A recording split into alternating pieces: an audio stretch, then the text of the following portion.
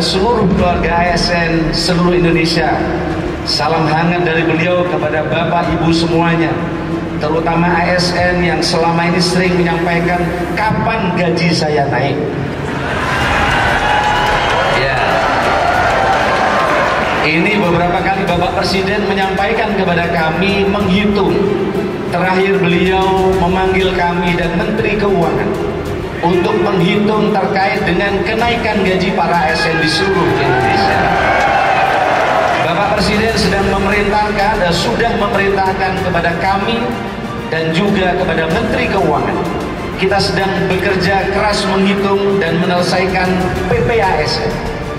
Kalau selama ini ada ribuan aturan untuk mendorong agar ASN kita bisa berkelas dunia, tapi nyatanya kita belum bisa berkelas dunia. Karena Pak Basuki kita ini seperti tarik tambang.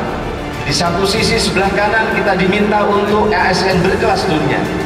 Di sisi kanan, sisi sebelah kiri kita masih diharapkan pada zona nyaman, zona aman.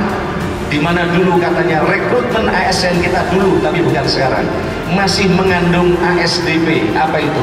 Anak, saudara, dan ponakan atau istilahnya PDAM apa itu ponakan dan anak menantu inilah yang menyebutkan tarik tambang kita. Tapi sekarang tidak bisa lagi.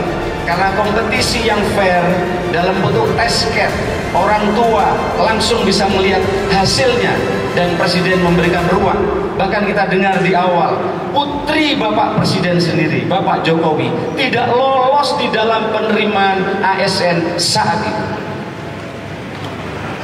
Luar biasa, tepuk tangan saya kira betul. Ini sebagai bukti bahwa Bapak Presiden ingin memberikan ruang yang terbuka, fair, terukur di dalam seleksi ASN kita sampai putri beliau sendiri tidak lolos di dalam seleksi.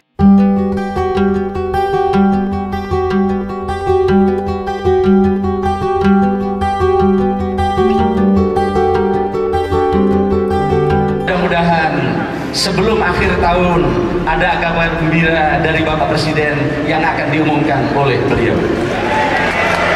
Begitu juga dengan teman-teman non ASN.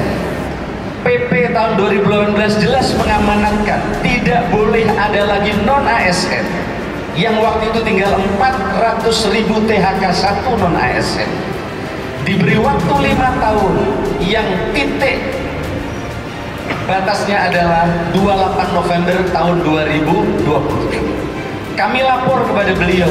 Ini adalah aturan. Ternyata kami diminta mendata oleh beliau. Bukannya tinggal 100 atau 200 ribu Pak Ganjar Pak Menteri PU dari 400 ribu setelah kita data ketika kami menjadi menteri ternyata menjadi 2,4 juta. Presiden geleng-geleng kepala waktu saya jadi wali kota katanya terakhir kok sekarang terakhir lagi. Jadi Pak Ganjar Pak Menteri memang tarik tambang tadi Pak Wakil Gubernur mohon maaf Wakil Gubernur Jawa Tengah.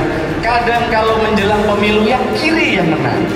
Tapi setelah pemilu seolah-olah yang kanan yang menang atau birokrasi berkelas dunia. Inilah tantangan kita semua tapi Bapak Presiden telah memerintahkan kepada kami supaya kami mengambil kebijakan yang bijak untuk para non ASN karena para non ASN ini sesungguhnya telah memberikan pengabdian yang luar biasa membantu pelayanan publik di seluruh Indonesia. Bahkan tanpa non ASN pelayanan publik kita akan banyak terganggu di sana sini. Oleh karena itu Bapak Presiden telah memerintahkan agar supaya tidak ada PHK massal untuk non ASN yang jumlahnya 2,3 juta tersebut. Beliau juga memerintahkan untuk diambil jalan tengah dan oleh karena itu beberapa hari ini kami sedang menyelesaikan undang-undang ASN. Mudah-mudahan masa sidang ini akan selesai sehingga menjadi pintu Pak Ganjar untuk menyelesaikan kekhawatiran 2,3 juta non ASN yang selama ini telah mengabdi buat kita semua. Ibu dan saya hormati